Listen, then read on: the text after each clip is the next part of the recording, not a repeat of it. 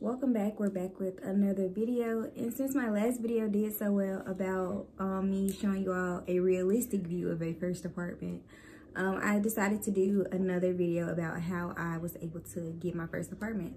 Make sure you comment, like, and subscribe to this video, and let's get into it. So, first things first, I'm bad at budgeting. I'm a shopaholic, so it was hard to be like, okay, let me save this money, and I gotta, you know, get my first apartment. I gotta, you know, move off campus. I'm gonna get ready to graduate. I gotta be an adult. It's giving. I don't want to, but, you know, it's at that time and at the time, I was living with roommates in a house and the lease was um, coming up to end. So it was just like, oh, I gotta find somewhere to stay. I gotta find a new place. And let me tell y'all, it's so hard to find an apartment. Like literally, like they want you to make three times the rent. They want you to have history. And I was not on the lease at the last place. I had took it from one of the um, other roommates. So I wasn't on a lease, so I technically didn't have any rental history. So it was just like, your girl is a newbie out here.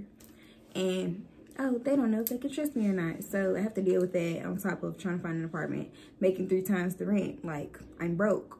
What do you want from me? Um, so it's so many things to take into consideration when you're getting your first apartment. So one, one, one, one, one budget. What's your budget for this? You want it to be sensible. I was thinking unreasonable at first because I was like, okay, I'm to get this good job. I'm to be able to pay rent. I'm to be able to, you know, stay in a nice part of town, you know, the Dover. Er, no. My friends are working at Amazon type places and Nike and working like, you know, 24 hours a day and they can be able to afford that type of living. I like to work maybe three, four hours a day, a week maybe sometimes. like working a lot. So it's just like, yep, I can't afford that if I'm not working like that, especially in that type of role. So yeah, that was out the window. Can't stay in a Dover. Y'all gonna have to come to the hood to see me, period. Because that's what my budget is right now. Like, I can't afford the Dover type money. I can't stay in Colleyville. Can't stay in Arlington. Can't stay in Cordova, Bartlett. Y'all can have all that. I'm trying to be cheap. I'm trying to be on a budget. I'm trying to save the most money. So yeah, staying in the hood. Let's delve into that. Necessarily, but staying with a place within your budget. So in your first apartment, I feel isn't going to be your best place because it's just like, it's your first apartment. And I feel like I've been told this so many times and I wanted to dispute that too. Like, oh, my first place gonna be bomb. Um, and it is, like, once you get inside it, and it might look raggedy on outside, but you know, you can possess it on inside. It's just being mindful of the area you stay in too. Like, it doesn't have to be like, oh, grimy, gritty, la da da. Like, if you can handle it though, if you know you strapped up and you can, me, I'm scared of guns. So it's just like, I had to be kind of cautious of where in the hood I was going to stay. So I picked the best place that was, you know, in an okay area. And um, it was way within my budget. So we talked about your budget. Uh, location. Location is going to be a biggest issue for some people because, as I said, I stay maybe in the hood to some people because y'all bougie. But if you're bougier, you will have to take that into effect. Like if you want to stay in a nicer area, your rent is going to be higher you know, if you stay in a lower income area, rent will tend to be lower. And it all depends on if you want to live close to your job, close to work, close to family and friends. I chose a location that was fine for me, myself, and I because only me is paying my bills. Y'all can come to moi. Or it's just like y'all live so far, y'all have to come pick me up or something. Period. But it's just like, I know location is a big issue for people. And I know like it was my biggest issue too because I was like, I wanted to live away from campus and I wanted to be in a okay place, like, you know, kind of a nice area. But I was like, I ain't gonna pay nice area money right now. I'm broke. So it was just like, it is what it is. Your girl got what she got. But I know that's a thing, like for people, is to go somewhere that you want to be in a nice location. You don't want to worry about your Amazon packages getting stolen, nobody breaking into your stuff when you're not at home, when you're working. But I took all those into consideration for myself because I work from home. Like, both of my jobs now have been, like, I've had three consecutive jobs in this um, one place, and they've all been from home. So I think I, we can thank Corona for that. So it's been much easier for me. Like, I'm able to be at home to protect my things, even though you know, I'm gonna have to pew pew somebody if they walk up in my stuff. And I don't really want to pew pew nobody, but if you walk up in my stuff, you're gonna have to pew pew your way up out of here. But yes, like, I recommend that for all women too, is get something to defend yourselves. And it's gonna be in my next video about apartment essentials, but this one, you know, is about tips. So yes, we've got your budget, locate, budget, location, and we wanna go ahead and start shopping. All right, so now you got your budget in mind, and now you know the area you want to live in. You got your price range. What's next? Create a wish list. What all do you want in your apartment? Do you want hardwood floors? Are you fine with carpet? Sorry. Are you fine with, okay, what you want the bathroom to look like? Because I know the bathroom is a big thing for me. I want the bathroom to be straight. I want it to be nice. What's the vanity area looking like? I need to know the tub, shower situation, stuff like that. Um, what is the kitchen coming with, with appliances and things like that, washer and dryer. I know like all of these are big things that you need to think about and like I had to think about these things. So I'm like, ooh, ooh, what am I gonna do? So my apartment doesn't come with a washer and dryer inside. It has a coin op on the outside, which I do not use. I go to my mama's house to wash my clothes because I'm broke. I'm not gonna pay to wash my clothes. I'm sorry, not right now um when it comes to that i probably will. Or you know a girl would be making enough money to move somewhere else. But right now i'm gonna go to my mom's house to wash my clothes. And think about that type of thing. Can you go to your parents house and wash your clothes? Like i know a lot of people don't have that because i didn't really have any help with getting the apartment and looking at everything like that. It was just all on me. But once i got in my stuff i was like yeah i ain't gonna wash and dryer so i'm gonna come to your house and wash clothes. You know whenever i can and sometimes it's cool, sometimes it's not. Sometimes I can go to my friend's place and wash clothes. And you really gotta appreciate them because they be very clutch. Like get you some really good type. For now you need to make sure, okay, so the kitchen situation, bathroom is what you want, what the room's looking like. So do you want a one or two bedroom? Me personally, I wanted a two bedroom. I know, I know, a lot. I'm wanting with such a tiny little budget, but I was able to do it you really have to look. I'm saying, like, you can find these things that you want within the budget that it, you want it in. Like, you just gotta really search for these things and really pray on it, and it will, God will put it in your life. You know, because I was really, y'all, I, y'all understand, I was on a broke girl budget. I was really didn't want to pay for nothing. And I wanted a two bedroom for myself because I wanted a study room, which is this room, and my bedroom because I wanted my work and my personal space to be separate, even though sometimes I still do work in the bed. But I wanted two separate spaces. So it was just like, those are things you have to take into account. Like, okay, do I want a one bedroom? Okay, am I fine with just me, myself, and I? Or even a studio because my um sister, she has a studio and that works for her. And she got it in a nice area of town, but her rent is higher than mine. But it's a studio and she's fine with that. And her and her baby, her, her not her baby, but her dog's her baby. Her, her baby up in there and her, like, it's a nice space for them. So you can take all of that into account. Studio, one bedroom, two bedroom. Take all of that into account, which setup that you want. Um, make sure you're checking the square footage. I really didn't know anything about that type of stuff until I started apartment searching. And so it's just like you really want to get into it to see like, okay, how big is the space? How can you imagine it? The best thing I can tell you to do is look it up on YouTube. And you'll see people's apartment. They'll either tell you their square footage and stuff like that so you can know the space to look for or look for it online, the layout. They'll have the layout of it like it'll be like bedroom here, bathroom, and like in the room or some something like that. And kitchen, living room, like it'll have a whole little setup. Like it's, it be in a little box. And it has all the little names and the, their places. And another good way I gauged it was looking on YouTube at like white people looking at theirs.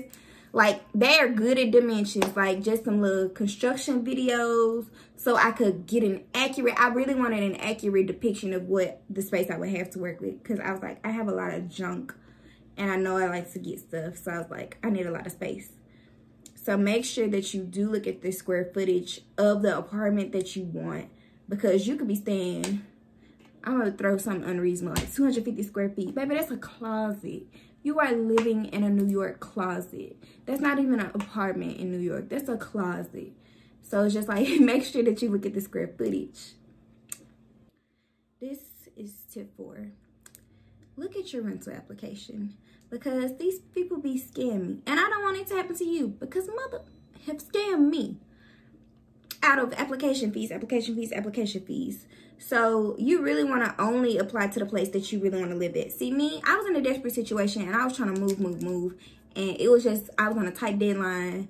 And all the money I had saved for my apartment, I just had all that money saved up and I was just giving it to these people really. And you couldn't get no application fee back. So I was paying application fees. Some places would tell me, oh, I can move in. So I paid application fee and security deposit just for these people to tell me, oh, yeah, we don't have none or you don't qualify. And kept my money. They're liars. They're scammers. They're terrible people. And it's just like, here you are out of 500 some dollars. I was losing too much. I lost thousands in some application fees. And I don't want that to happen to y'all. So I will say, only really apply to the place that you want to look like you want to move into. Don't just be like don't be like me. I was in a very desperate situation where i was i had a very strict time crunch like two month two three months to move out and i needed to get somewhere quick and i was i was just going through it. But i don't want that to happen to y'all so make sure you only pay where you want to move into because i don't care i'm gonna say it these rental people they be scammers scamming people. They took all my money and they were calling me back. They called the office.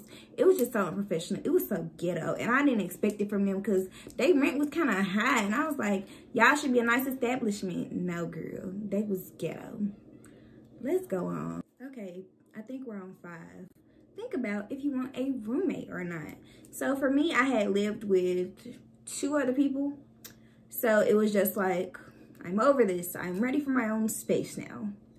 So that's what I wanted in my apartment. But you may be like, well, my best friend, me and my best friend gonna live together. I'm like, okay, girl, split that rent, them bills gonna be cheap. But keep in mind, are y'all both tidy people? Are y'all both clean people? How are y'all gonna respect each other boundaries? Um, or do y'all care people come in and out? Because me personally, I really don't care.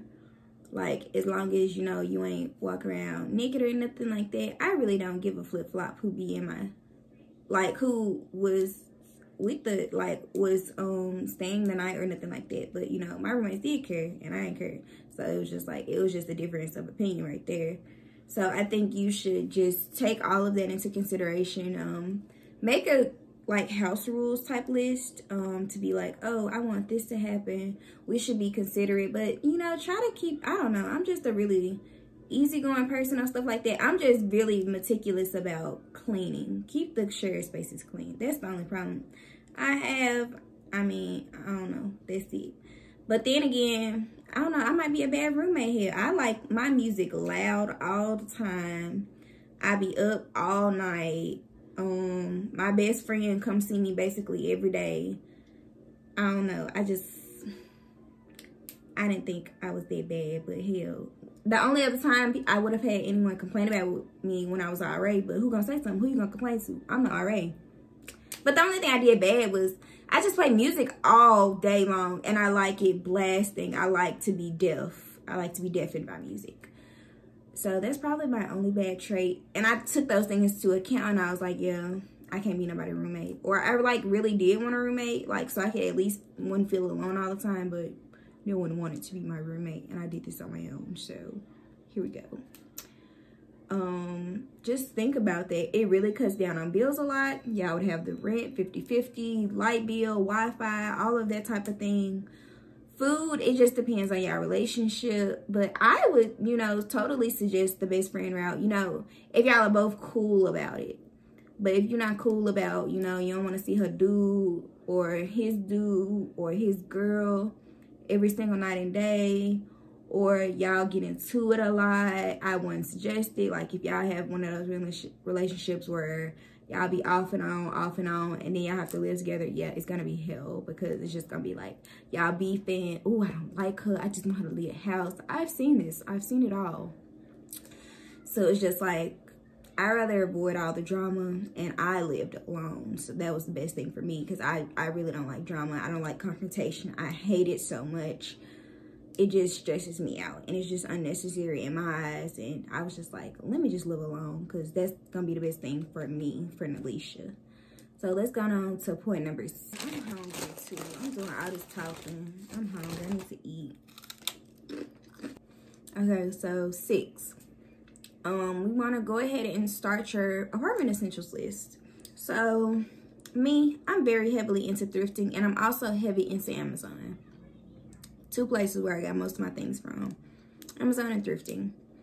Um, and Wayfair, even though I learned later that Wayfair be doing some messed up things. But I already got some stuff from them, so I can't complain now. Um, most of my things came from me previously living on campus in the dorms. So it was just like moving those things with me, my mini fridge, microwave, and you know, just knickknacks and stuff like that. Um, bed that I had bought at my first place. You can get beds for really inexpensive on Wayfair and Amazon. My bed is from Wayfair. It is a low profile bed, so it sits lower to the floor. And I like that feeling and it's been better for my back but I'll talk about that more in my next video. But it's been a wonderful experience with that bed. Like everyone who gets in a bed. That's a bad thing to, but I'm not saying a lot of people have been in my bed like I'm some type of Jezebel, but I'm just saying my friends that have laid in my bed have told me how comfortable the bed is. My bed is really comfortable. Like it'd be a problem how comfortable, like I can make things comfortable. I'm like, I'm a nester. I would, I make things as comfortable as possible and it'd be a problem because I don't want to leave. So yeah, so you want to make a list of your essentials and how you want your apartment to go. So my best tip was that I found when doing my research is to shop by room. That was the best tip ever. Shop by room.